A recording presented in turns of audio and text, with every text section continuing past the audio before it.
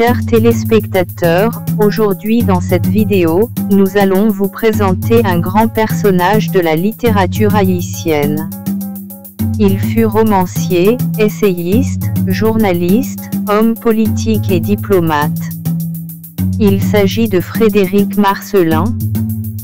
Selon nos recherches, Frédéric Marcelin est né à Port-au-Prince, le 11 janvier 1848 au sein d'une famille commerçante aisée. En parlant de son éducation, à l'âge de 12 ans, ses parents l'envoyaient à Paris.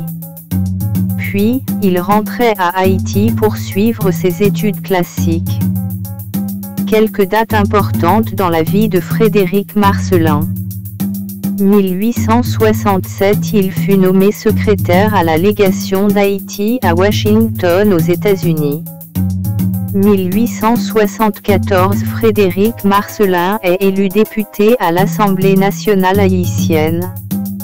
1892 à 1894 sous la présidence d'Hippolyte, il diriguait le département des finances.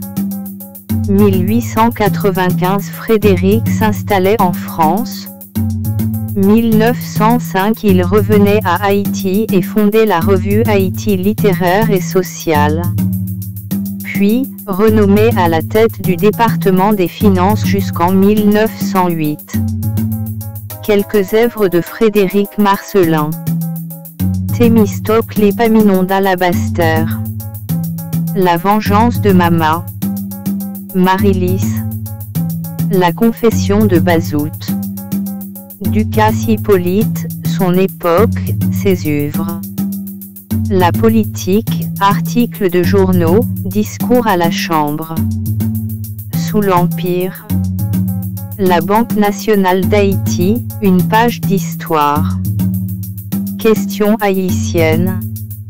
Enfin, Frédéric Marcelin meurt le 11 mars 1917 Paris, France. Chers téléspectateurs, c'est la fin de cette vidéo.